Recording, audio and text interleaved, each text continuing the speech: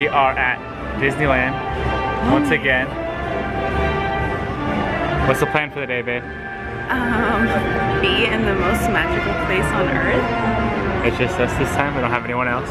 Just us, First time with no kids. We're going on all the crazy rides. not our kids, our nieces and nephews. Kids. We don't have kids, but we're gonna go on all the crazy rides, babe. I just can't even. We're in Disneyland right now and I'm so excited. All right. We'll catch you guys. We got like 10 minutes till it opens. Yeah. We're in right now though. It's supposed to rain later. So yeah, if, we, if we super cloudy. I think Yeah. it's already sprinkling. If we jumble around to where it's dark outside, it's because it rained. It rained way too much. But uh, let's go get on some rides. Catch you guys later. Emergency fuel vent. Check. Laser cannons. Check. Check. I, I said check out. Shut them down before you blow up the whole place. Oh my gosh, he's gonna blow us up with laser Sometimes, cannon. Artoo, I can't understand your logic at all. That's how I feel with you sometimes.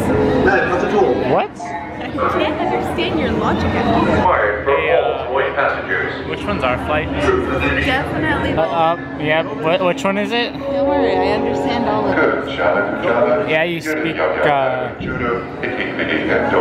Whatever that is. The more you know. This is my favorite part of the journey. Around every bend, there's natural beauty as far as the eye can see.